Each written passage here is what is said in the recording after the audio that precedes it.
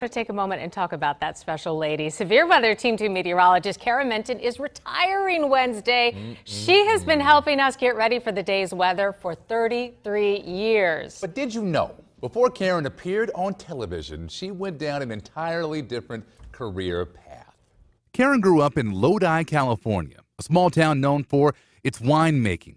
As a college student, she was asked to enter the Miss San Joaquin County beauty pageant. And that's when she discovered the talent that would lead to a long and successful career. For me, it was speaking and able to connect with people and impact their lives through my words. After graduating from college, Karen substitute taught before landing a corporate job. I ended up being a district manager of five Western states for International Dairy Queen. But a chance meeting with a TV reporter planted the seed of working in television in Karen's mind. It was like I was drop kicked through the window of, I'm no longer going to do this. I'm going into television. Karen took some courses and worked her way up from intern to a job doing weekend weather at a Sacramento TV station. In 1984, Karen moved to Atlanta to work at the Weather Channel about a year and a half after it launched. So I was the second female on TV at the Weather Channel. WSB TV managed to lure Karen away in 1986.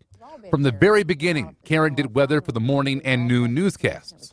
Along the way, Chief Meteorologist Glenn Burns became both a friend and a mentor. We kind of grew up together in this business. He was willing to sit down with me and give me as much knowledge as he could. As a single mom working full time, Karen also went back to school.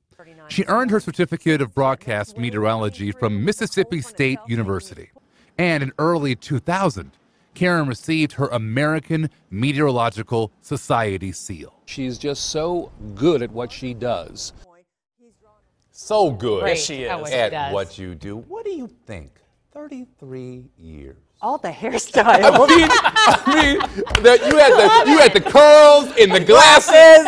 Yep. I mean, that was it. Big earrings. Yes, all, all of that. A little hairspray. A lot of hairspray. a lot of hairspray. Yes. Your thoughts? 33 years. It's amazing, absolutely amazing. It has changed so much from that first day in April 1981 at KOVR in Sacramento mm. to today. The technology mm. has ballooned I mean, Brian can speak Ooh. to that. It's just huge, the changes are, and they've all been good, and it's been my pleasure to be with mm. all of you. Karen, you are amazing, and you deserve every moment of this retirement that's coming I up. love and you. the amount that we laugh and love oh, this lady yes, right here. I know. We Reach laugh it across the, the, table. I think you all know. We laugh all the time. It's I want, fun I want to hear more about Dairy Queen. okay.